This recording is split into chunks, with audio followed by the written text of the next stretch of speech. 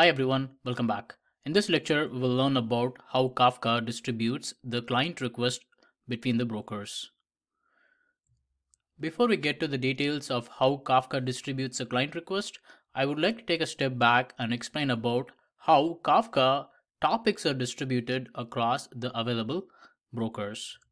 At first, we have a Zookeeper and a Kafka cluster. In this example, we have a cluster with three brokers. Out of the three brokers, one of the available broker will behave as a controller. Normally, this is the first broker to join the cluster. Think of this as one additional role for the broker. Now we have the environment completely set. Now it's time to create the topic. When the create topic command is issued to the zookeeper, the zookeeper takes care of redirecting this request to the controller. The role of this controller is to distribute the ownership of the partitions to the available broker. So in this example, we have partition 0 sitting in broker 1, partition 1 sitting in broker 2, and partition 2 sitting in broker 3. In distributed systems, this concept of distributing partitions to the brokers is called leader assignment. So in a nutshell, the test topic is distributed across the Kafka cluster. Now the topic is distributed, right? It's time to learn about how does the cluster handles the connection from the clients. Let's look at the producer end first. If you can recall from one of the previous lectures, producer has a layer called partitioner, which takes care of determining which partition the message is going to go. So the producer sends the first message. It's good. It goes to the partitioner before the message is sent to the Kafka topic. The partitioner determines this message should go to partition 0. In this case, the leader of partition 0 is broker 1, so the message will be sent to broker 1. The client will always invoke the leader of the partition.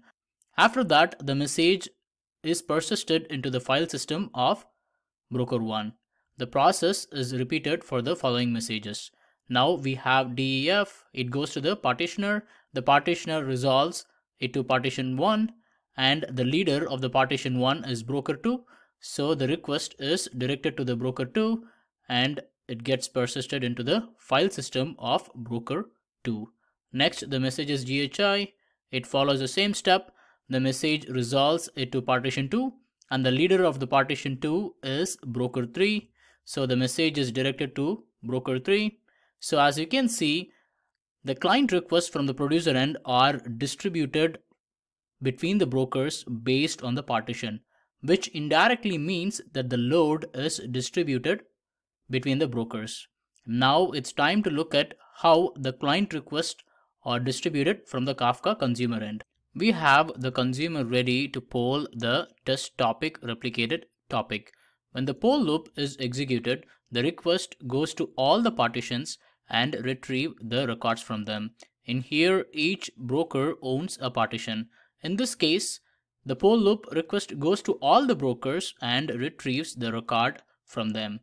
And the retrieved records are handed over to the Kafka consumer and the consumer process the records successfully and the same flow repeats. So in a nutshell, even from the consumer end, the requests to retrieve the data are distributed between the brokers.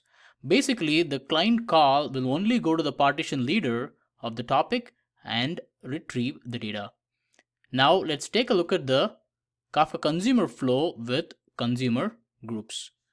Because it is a common practice to run multiple instances of the consumer and process the records from the Kafka topic. So in here we have three instances of the consumer with the same group ID. If you can recall from the concepts of consumer groups, if there are one or more instances of the consumer with the same group ID, then the partitions are distributed for scalable message consumption. So in here, each consumer instance has one partition assigned. When the poll loop gets executed, each instance is going to poll the data from the partition that they are interested in and the poll call goes to the leader of the partition of the topic and retrieves the data. So in here, partition 0 call goes to broker 1 and partition 1 call goes to broker 2 and so on. And the process repeats. Let's quickly summarize what we had learned so far. Partition leaders are assigned during topic creation. Any clients, irrespective of the producer or consumer, will invoke the leader of the partition to produce or consume data. With this, the load is evenly distributed by invoking the partition leaders. I hope this lecture gave you all a pretty good idea about how Kafka distributes the client request and handles the load gracefully. This marks the end of this lecture.